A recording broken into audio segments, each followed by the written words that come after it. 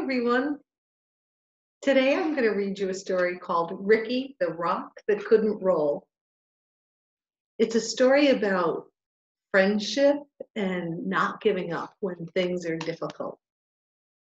I hope you enjoy it as much as I do. Ricky the Rock That Couldn't Roll.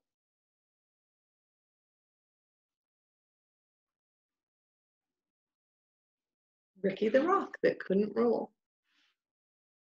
Over the lake, out, out past the bay, was a green grassy hill where the rocks came to play. They would race to the top and take in the view and then roll their way down the way rocks love to do. One thing I forgot to tell you about this story is on every page you'll see a ladybug. See if you can find her. There were Kip, Pip, and Chester, and Marvin the Boulder. Ignatius played too, though he was much older.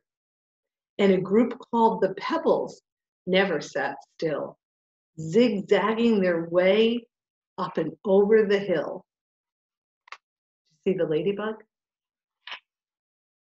Kai was a meteorite and not from this planet. And Maya was lava but taken for granted. Stu was the smart one, and Parker the clown, and grumpy old Ebert rolled round with a frown.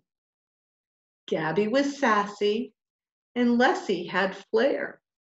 Emma was giggly, and Hud had black hair.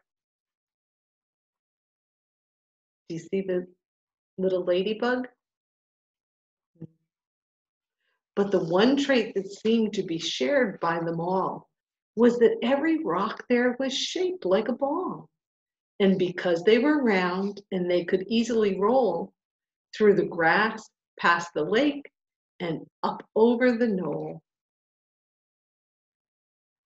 Except for poor Ricky, who quietly sat. You see, Ricky couldn't roll because one side was flat. He looks a little sad, doesn't he? But one of the rocks doesn't seem like he's having fun either. Some of them look very happy. His friends didn't get it. Come roll, they would chant. So Ricky tried, but replied, I'm sorry, I can't. Looks like the ladybug's trying to help Ricky. But the rocks were determined they were sure they could solve Ricky's flat-sided problem and help him revolve. So Marvin the Boulder, with his impressive physique, carried Rick all the way to the hill's grassy peak. Then he pushed him downhill, yelling, Keep rolling, kid!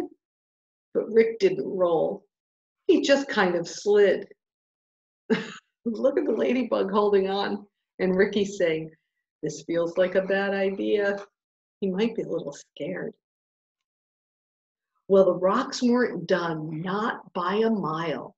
Surely the next try would get Rick to smile. They stuck rubber balls all over Rick using big gobs of glue to get them to stick. They were proud of themselves. This will work, they announced. But Ricky still couldn't roll. Now he just sort of bounced. No good, no good, no good. Well, they pushed and they pulled, trying every which way to get Rick to roll, but by the end of the day, nothing had worked, just like Rick expected, and he ended up feeling depressed and dejected. It's no use, Ricky sighed. There just isn't a way. So I'll sit off to the side and watch you all play. I feel sad for Ricky, don't you guys? It seems like Ladybug's sticking with him though. But his friends wouldn't quit. We're here for you, brother, and we'll get you to roll one way or another.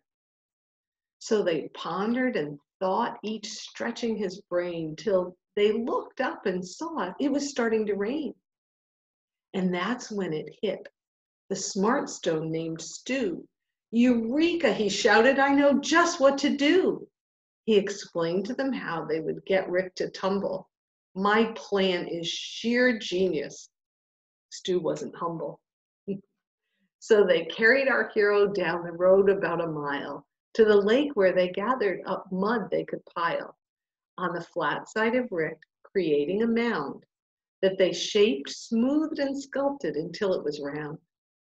Then, after the rain, with the sun in the sky, they left him to bake till the mud was all dry. They gathered up vines and one colorful feather they wrapped all around Rick to keep it together. Look how silly he looks.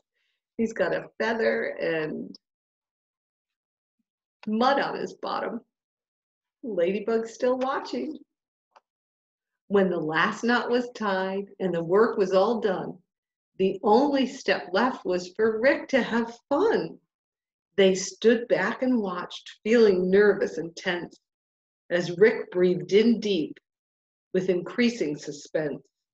He moved slowly at first, testing out his new mold. And then, for the first time, Ricky the Rock rolled.